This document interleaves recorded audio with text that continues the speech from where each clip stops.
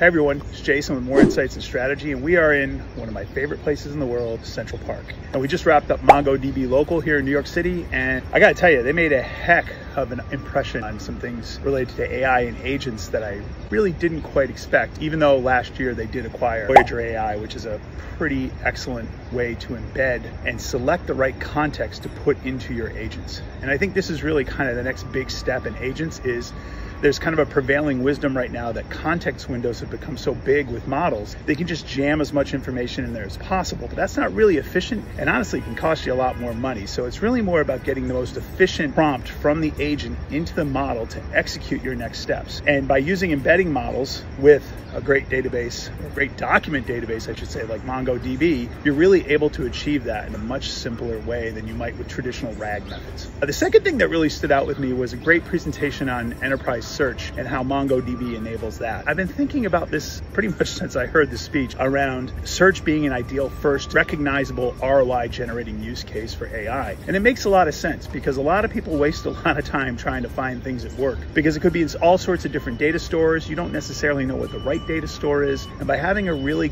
good way to combine vector search with natural language search, which is all built into MongoDB Atlas, you can really find some really creative ways to search.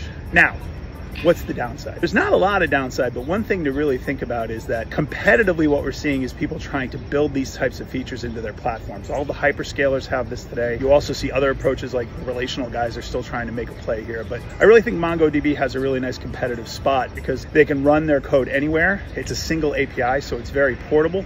But again, very competitive market, but I think MongoDB is holding up really well. And if you look at their track record the last couple years in terms of new customer acquisition and revenue growth, they got a great story there. So if you're not looking at MongoDB right now, it's definitely worth a look, especially if you're looking for some really practical ways to deploy agents or AI services.